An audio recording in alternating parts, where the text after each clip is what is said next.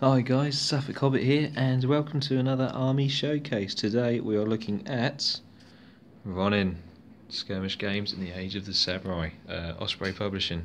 Really good game, really really cool, loads of rules, loads of things to do with the games, really really accurate to the historical side of things. And it spoke to me, fun enough, because I study, whoops, I study uh, Iaido, which is a martial art, the uh, quick draw of the samurai sword and also Kimbu, which is uh, sword movements, uh, spear movements, and fan movements to sung poetry. Really, really cool. I'd recommend it to anyone that wants to try it. It's really good, different. Uh, it's cool to do something which got so much historical background to it. Absolutely awesome. Anyway, moving back to the thing. Yes, this is Ronin. This is uh, the faction, uh, the Koryu, which is a uh, sword school, traditional sword school in Japan. Would have been around the 1600s, earlier, later to the obviously modern day. But for the war game purposes, this is you know back in the historical wartime uh, side of things. You have loads of different uh, factions, more armored ones, bandits. Uh, you got religious monks, you name it, they have it. But this appealed to me purely because of what I do. I thought it was quite cool. Um, this chap here is to be my sensei in gaming terms. And the reason for that is as you can see he is just so cool. Is it going to focus. No it's not. There you go. You can see him just about there. I've tried to go for the uh, colour uh, design that we actually have in the club. All the senseis wear this sort of gear of a black and grey striped uh, hakama uh, grey top. You can have black or white you know it's all there. And I've also tried to do the mon the monski which is the club motif or school motif, clan motif, whatever you want to call it. Um, that is the mon that we have in our club. So I managed to add it to a few of the models. Really, really pleased with them. Um, love this this guy's pose. Absolutely awesome. Absolutely just so cool. He's uh, just really is. You know, he's got his hand on the saya, the the scabbard mouth. He's you know he's pointing. Really, really cool. Really dynamic pose. These are the Perry miniatures. They're the uh, class as the unarmored samurai miniatures.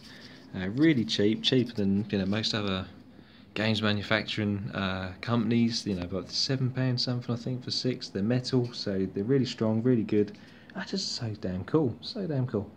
But you got another chap here. I've given a couple of them brown Hakamas because when I'm trying, I have a brown one, so thought I'd give a bit of a colour variance. But there you go again. You got the clan uh, motive just there. This is quite a cool pose, quite you know subtle, quite humble looking pose, quite very sort of stereotypically martial art, very humble, you know, stood there waiting to draw the, the enemies attacking him, and then just whoosh out comes the sword, really cool. Another one here, another classic samurai pose.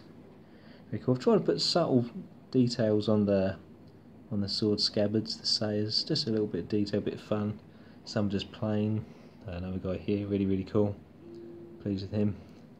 Got a bald guy here, cool little uh, flower pattern. This I see this pattern on a old antiques sword website funny enough and I thought I'd try and add that to this model. It was a yellow and orange flower. It really really cool so I've tried to add it onto him. He's, they've even the historical detail in these miniatures is absolutely brilliant because they've even managed to add the uh, tasuki these little white things here. This is what the samurai would have worn around their clothing as a way of a bit of extra strip well backup really. So when they were fighting if their clothing got ripped it wouldn't fall apart, wouldn't fall off, and the tasuki were like an extra set of uh, uh, belts as such to help hold everything together. So the, the historically detail-wise, these guys are absolutely brilliant, really, really cool. Perry Brothers have obviously really thought hard about it. And finally, last model here, he's quite cool. I'm kind of thinking he might become my second in command in terms of gaming uh, abilities and things, just because the model looks so dynamic, really cool. And uh, yeah, that is my Koryu six members. I might try and buy a seventh or an eighth, but points are quite easily spent on this game. Uh, you know, you don't need many models to make a game. A warband, seven or eight is, you know, pretty much standard really, so I only need one more. Um, they're a bit more of a harder faction to play with looking at the rules, there's more to them. Um, they're low on armour, obviously, so that's a massive downfall, but because they are masters of the sword, they're a sword school, they're quite masterful, obviously. They are going to uh, do some serious damage when they do finally get into those close combat battles. So I think it's going to be a case of hiding in the scenery and charging when it comes to the to the fore.